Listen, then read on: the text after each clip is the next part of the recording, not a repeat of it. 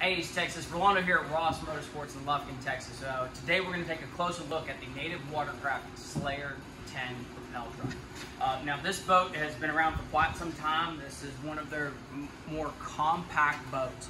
Uh, on the front of this boat you've got a very unique handle. This is actually one of the few horizontal handles that Native has to offer. You've got a traditional bow uh, keel guard, a keel coming up. Uh, it's got a normal handling feature for when you're out in those waters. Now this boat is great for ponds or smaller lakes. Uh, so if you're looking to do that's your primary mode of fishing, this is the perfect boat for you.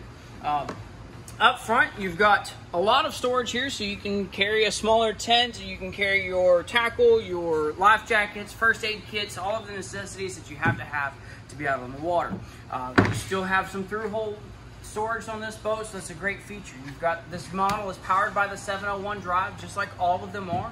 You've got the upgraded bicycle pedals. You've got the spots to put the cleats in there for a little bit extra traction if you got shoes on. I, I personally fish barefoot, so you'll always see my kayak without the cleats in.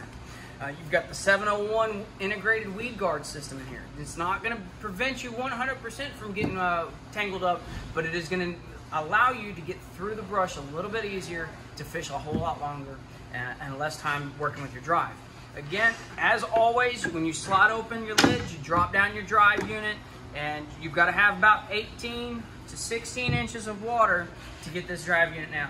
Now, this model here, the 701 drive has got a free forward and a free reverse. There's very little hesitation, very little cavitation happening at the proper powerhouse of this boat.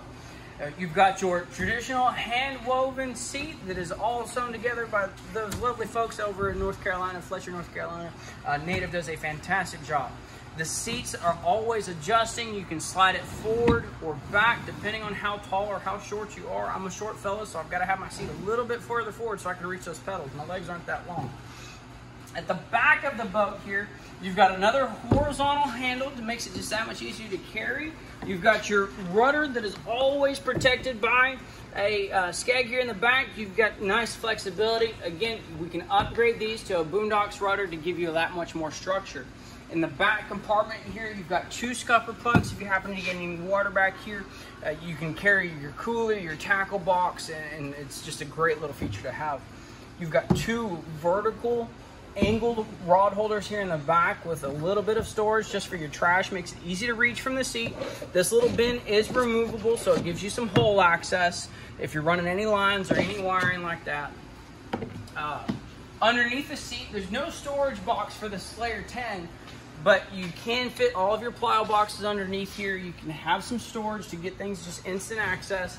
On the left-hand side of this boat, you've got your steering control here now, unlike the Slayer 10, which we're going to do a comparison video here in a little bit, the electronics features you have to put a few holes in the boat, unfortunately. Um, but we're going to get to more on that later. If you have any questions on this model or any of the other models that we carry with Native Watercraft, give me a call at 936-634-6873 or you can reach me on my email at rossmotorsports, the number one, at outlook.com. We'll see you guys out on the water soon.